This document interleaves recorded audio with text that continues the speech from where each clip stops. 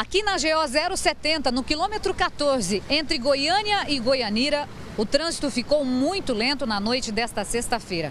Um caminhão gaiola carregado de animais tombou na pista, infelizmente com vítima fatal. O motorista estava sozinho. Testemunhas nos contaram que o caminhão veio fazendo um zigue-zague na pista. No momento da colisão, os animais ficaram soltos na pista e a polícia ficou controlando o tempo inteiro o trânsito. Nesse momento, aconteceram mais dois acidentes por curiosidade dos motoristas. Animais ficaram espalhados pela pista e os policiais ficaram o tempo todo contendo o trânsito